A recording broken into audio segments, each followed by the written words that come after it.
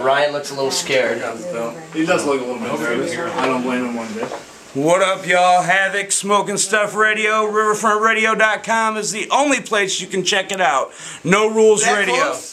This is what's going on. Check this place everywhere. We, we have We got Orion. How you feeling, Orion? Fuck you.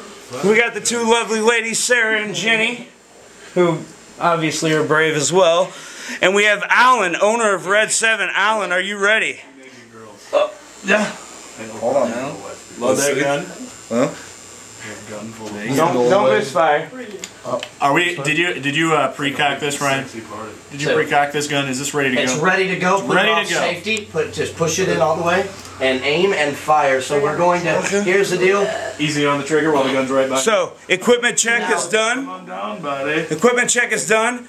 The whole studio is going to count down from five, and on zero, he's going to get his ass lit up, alright?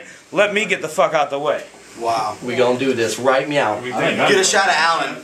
Yeah, get a shot of Seven. Allen. Get the shot of Allen with the gun first, because we, we got we got to get that on there. Hell yeah! Intimidating man. Alright, here we I'm go. all done, buddy.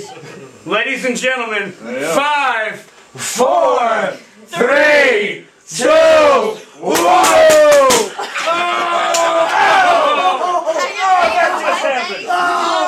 Early shot! Oh, he doesn't like it at all. He tried to flag on his hand. Oh, he does- oh, oh. oh, did you? And you hit the Oh same my spot like God. last time.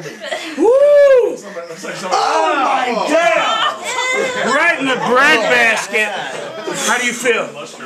Wow. Oh man. This is for y'all. This is for y'all. This is for y'all, the listeners. Smoke N Stuff Radio.